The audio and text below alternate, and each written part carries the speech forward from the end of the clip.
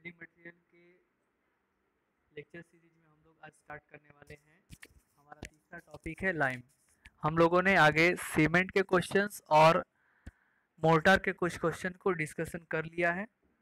और आज हम लोग वापस से थर्ड चैप्टर की तरफ़ बढ़ते हैं और जिसका नाम है लाइम तो कंसिक्वेंटली हम लोग नंबर ऑफ़ क्वेश्चंस डिस्कशन करते रहेंगे। और जितने भी क्वेश्चंस पूछे गए हैं इंजीनियरिंग सर्विस एग्ज़ाम में जीपीएससी एग्ज़ाम में और उसके भी क्वेश्चन पेपर को हम लोग डिस्कशन करेंगे। तो यहाँ पे क्वेश्चन नंबर वन है lime mortar is generally made with lime mortar जो है वो ज़्यादातर किस चीज़ से बनता है? किस टाइप के मोर्टार से बनता है?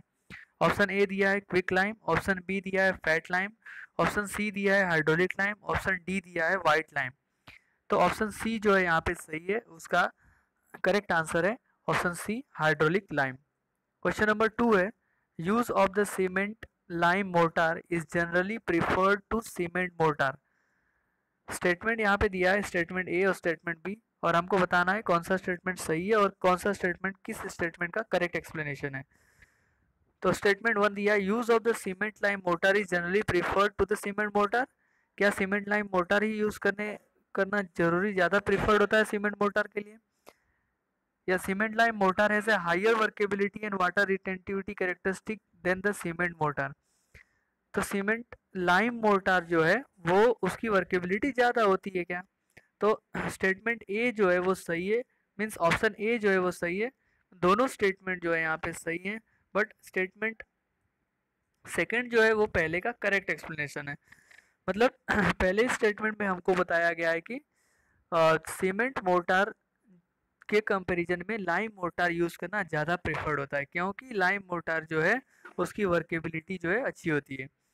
यहाँ पे क्वेश्चन नंबर थ्री है मैचिंग करना है हम सभी लोगों को तो मैचिंग में लिस्ट में एक टाइप्स ऑफ़ लाइम दिया है, उसके बाद उसके अंदर हम लोग, उस सेकेंड लिस्ट में हमको किस टाइप के स्टोन से वो बनता है।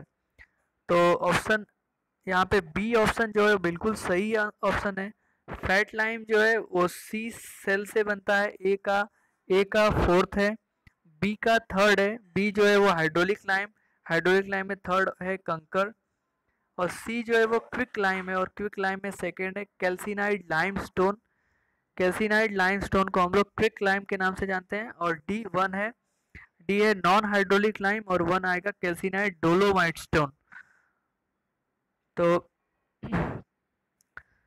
फैट लाइम जो है वो सी सेल से बनता है हाइड्रोलिक लाइम जो है वो कंकर से बनता है क्विक लाइम जो है कैल्सिनाइड लाइम स्टोन से बनते हैं और नॉन हाइड्रोलिक लाइम जो है वो डोलोमाइट स्टोन से बनते हैं।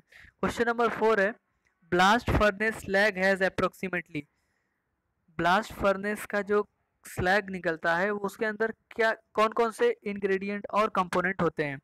ऑप्शन ए है 45 percent of the calcium oxide and 35 percent of silica option B है 50 percent alumina and 20 percent of the calcium oxide 20 percent magnesia and 15 percent silica. Option D है 25 percent calcium sulphate and 15 percent alumina.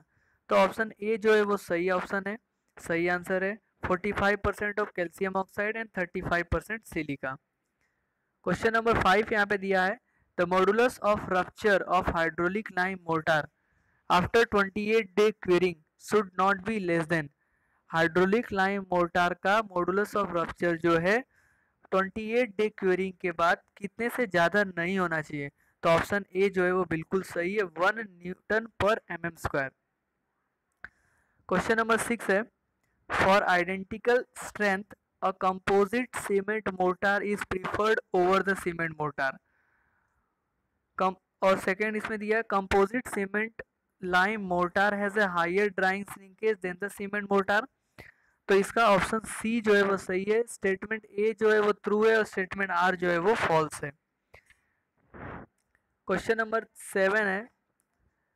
Consider the following statement यहाँ पे कुछ statement दिए हैं जिस, जिसमें हम लोग का statement number one and statement number three जो है वो सही है। स्टेटमेंट नंबर वन दिया है। Masonry in rich cement mortar through having the good strength the high shrinkage is much liable to the surface crack Statement 3 A masonry in the limestone has a better resistance against the rain penetration and is less liable to crack when compared to the masonry in the cement mortar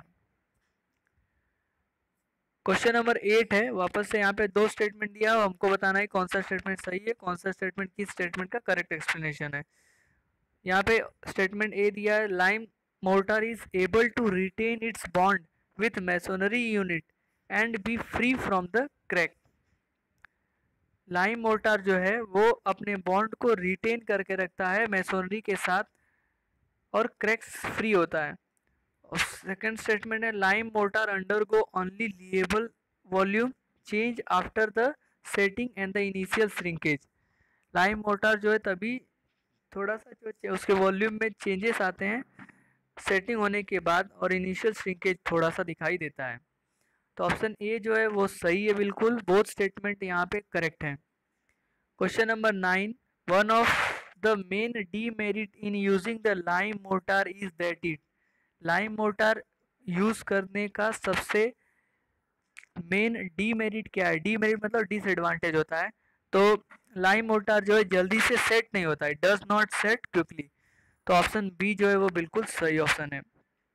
Question number ten why is lime added to cement slurry for the top top coat of the plastering तो जब भी हम plastering work करते हैं तो उसमें cement slurry जो है टॉप कोट में हम क्यों डालते हैं? Lime why is lime added उसमें लाइम क्यों ऐड किया जाता है? तो लाइम इसलिए ऐड किया जाता है कि to improve the strength of the plaster plaster की स्ट्रेंथ को बढ़ाने के लिए हम लोग ज़्यादातर लाइम यूज़ करते हैं।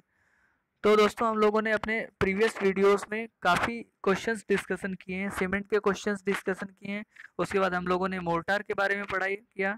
अब ये थर्ड चैप्टर हम लोग लाइम लेके आए थे और लाइम के कुछ क्वेश्चंस जो अलग अलग एग्ज़ाम में इंजीनियरिंग सर्विस के एग्ज़ाम में पूछे गए हैं। तो इसके बाद हम लोग डिस्कशन करेंगे अपने आने वाले लेक्चर में कॉन्क्रीट के बारे में।